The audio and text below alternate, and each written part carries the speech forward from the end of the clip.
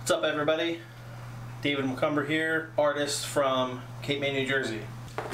And today we are going to do a review, unboxing, demonstration of the Bard Creative Camera Kit. The uh, folks at Bard sent this to me to give my uh, review and we're gonna check it out. So if you're into cameras, if you're an artist, if you're in an artist that's into cameras, this is for you. All right, so let's go over to the desk and we'll do a little unboxing and check out what's inside.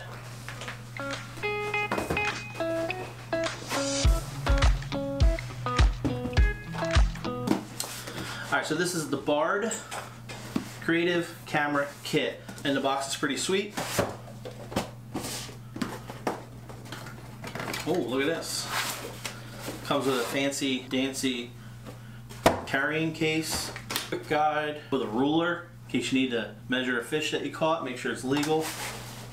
Comes with a micro SD card, which is super cool. I always hate when you buy cameras and it doesn't come with that. Batteries, USB cord, some clamps. Is in here? Oh, so this side of the pouch is like a little um, accessories carrying case. This is uh, some sort of clamp. I'm gonna have to read the directions to figure out what this is. Camera is in here.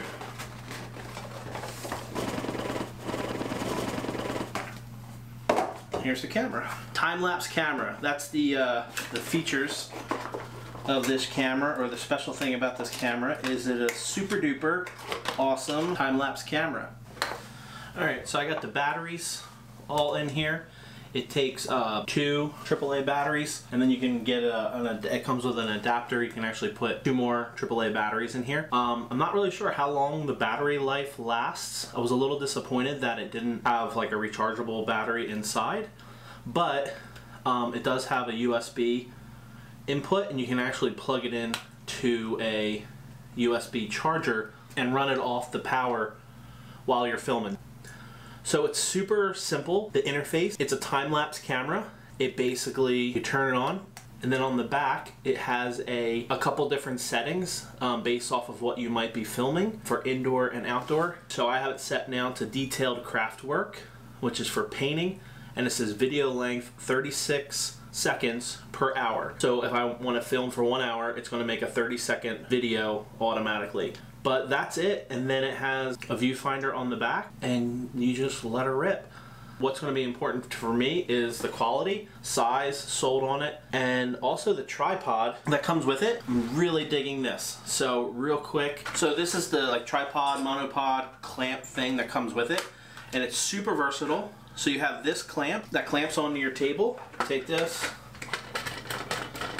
clamp it onto your table. You can also clamp it onto your easel. Check this out cool piece of design. This is also a monopod. So if you want to just kind of set up a little monopod, the head tilts, the three axis tilt little head, extension like that. So it can be a monopod that you put on a counter, or you can clip it to your easel, mount the camera straight down, you can do in your drawings. That comes in the package as well. But let's see what this thing does. Alright, so I got the tripod here set up, or the arm pod, whatever it is.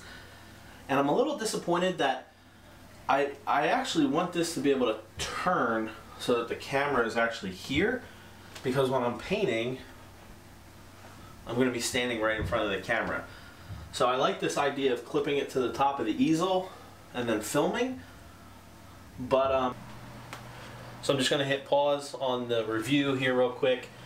I actually figured out that you can loosen this and it actually rotates to the side and you can mount the camera here and it not be in the way of your uh, of your painting. But I do like this tripod so far. Back to the review. Alright let's get started. Let's start with some pink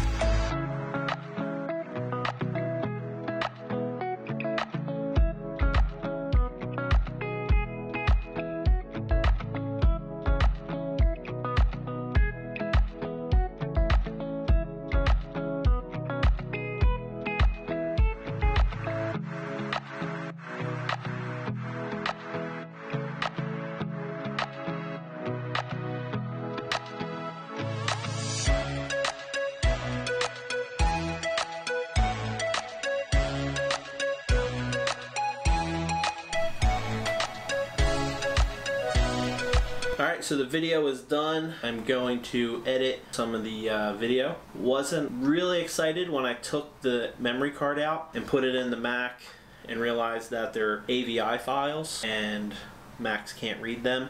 So now I had to download a file converter onto the Mac and now I have to one by one convert 23 video files into a way that I could edit them. So that is a real major drawback to the camera. So yeah, I'm really kind of bummed about that. But I'm stoked how the painting turned out and hopefully we get some cool time lapse of the of the video of the painting happening. So I'm going to uh, convert these files and edit it, see what the videos look like and hope you enjoy.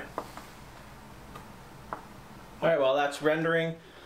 Um, that was my review of the Brinno time-lapse camera. Uh, I think it retails at like 465. Uh, it's really going to be hard to battle the GoPro, which um, I don't know offhand what it retails at. I mean, there's a bunch of GoPros, but um, the batteries, you know, doing time lapse over like three days, a couple hours of time lapse, batteries that come with it, double A's that come with it, um, use about half. So if you were to do uh, some long time lapses, uh, you'd want to plug it into the USB, which could be frustrating because the USB plug wouldn't be long enough if it was on the tripod, so you need an extension cord. Just, you know, another thing to have uh, laying around in the, in the studio. But I was told by the manufacturer that if you were to do like a long, long like a week long mural or something, and you were just taking like one photo an hour uh, over a really long time, the batteries would last the whole time. That's kind of a cool thing, but usually my murals